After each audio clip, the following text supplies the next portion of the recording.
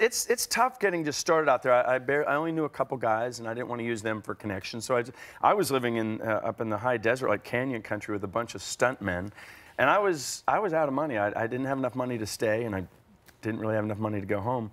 And I was just looking through the paper, and at the time they had the game shows that you could go on, and I said I need to at least give that a try. So. I went on a show I love called Sale of the Century, and uh, I think five days later, I had won like $34,000 in cash and prizes. And that show was the reason I was able to stay there and to continue being an actor. So, You know we have a clip no, you of don't. you. Yes, we do. yes, we do of you on Sale of the Century. Let's take a look.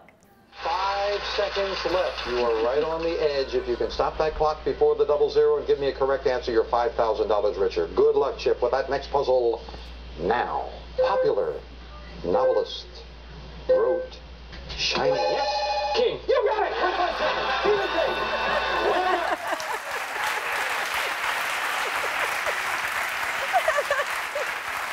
Yeah, that.